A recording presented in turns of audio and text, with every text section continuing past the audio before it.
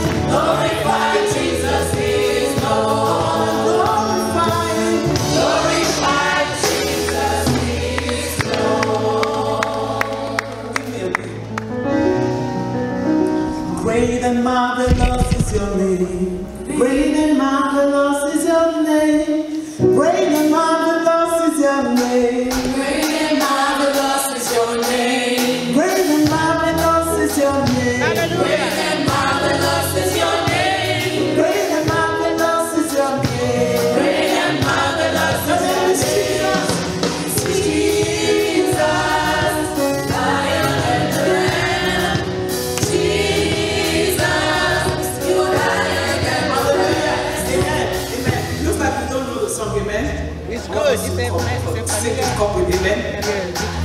When I say great and marvelous is your name, great and marvelous is your name, great and marvelous is your name, great and marvelous is your name, great and marvelous is your name, great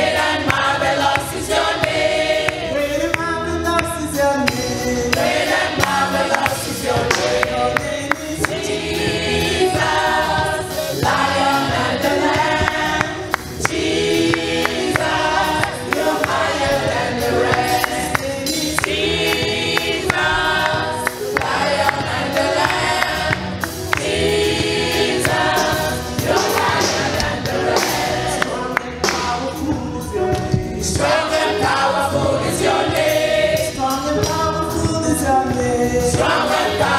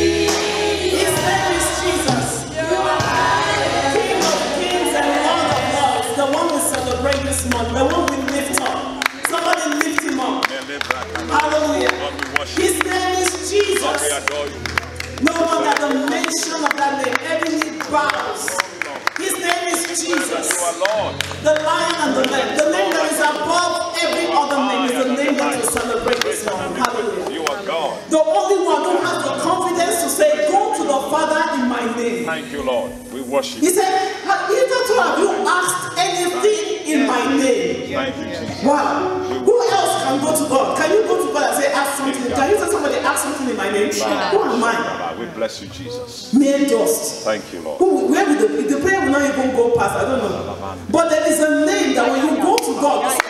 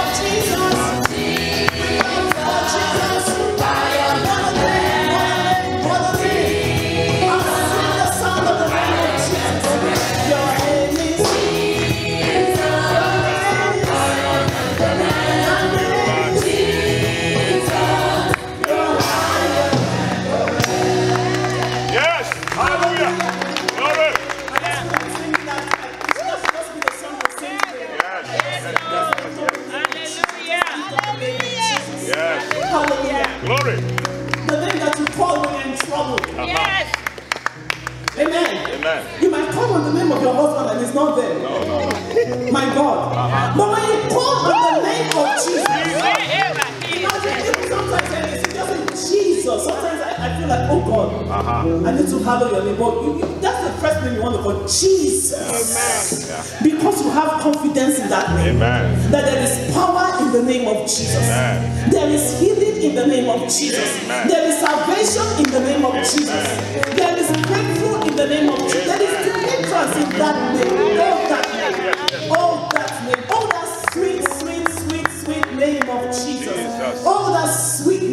Jesus that I call when I'm in trouble. When I'm afraid, I call on His name. Hallelujah. When I lack, I call on His name, and He shows up. Amen. He shows up. I don't know about you, but Jesus, somehow, somehow He will show up. We worship you this morning, Jesus. You are the one we worship. Who do we worship this morning? Jesus. Jesus. Come on, give him praise. Worship him. He's worthy. He's worthy. Our solid rock. Rock on which you stand. When you stand on that rock, Jesus, you cannot be moved. Nothing can shake you from that rock. We worship. We worship you this morning.